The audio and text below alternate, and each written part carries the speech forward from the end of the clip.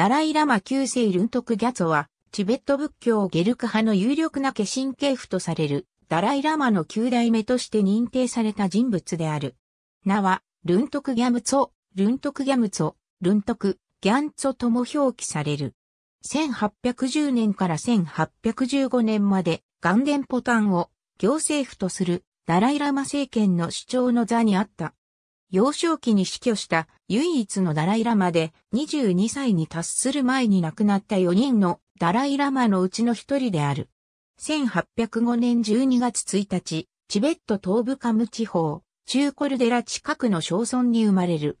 一説には、孤児として生まれたとあるが、他説によれば、父親が天神中キョン、母親がドンドゥップドルマであるという。ラサ近郊の軍艦総員に連れてこられた少年は、1807年、ダライラマ8世、ジャムペルギャツォの転生者として認められた。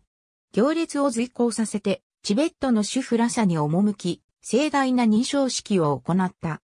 ダライラマ8世の治世下で1793年に、剣竜帝が定めた近平聖句寺の姓は、9世の即位に際しては利用されなかった。1810年、ラサのポタラ宮で即位式が取り行われ、正式にダライラマ9世として即位し、パンチェンラマ7世、ロサン天平にマニシャミ会を授かり、ロサンワンチュクルントクギャムツォの法名を得た。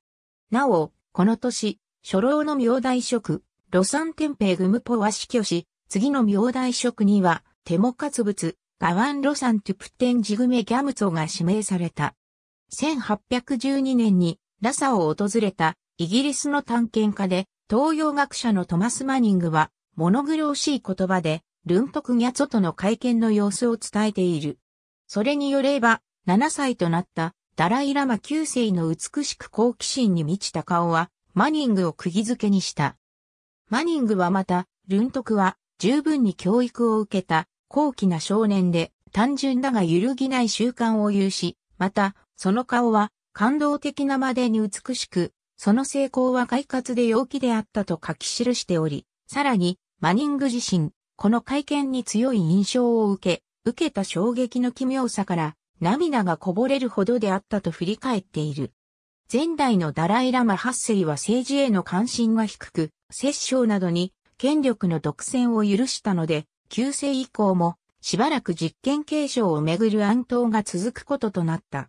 少年法王ダライラマ9世は例年開かれる、モンダム祈願大法への際、風邪を引き込み、病床についた。1815年3月6日、ダライラマ9世はわずか9歳にして、チベットで他界した。国中の人々は悲しみに陥った。それは、新しい転生者が8年後に認定されるまで続いたと言われる。彼の体は、セルドゥンサスムゴンガと称されるポタラク内の黄門の性病に安置された。ありがとうございます。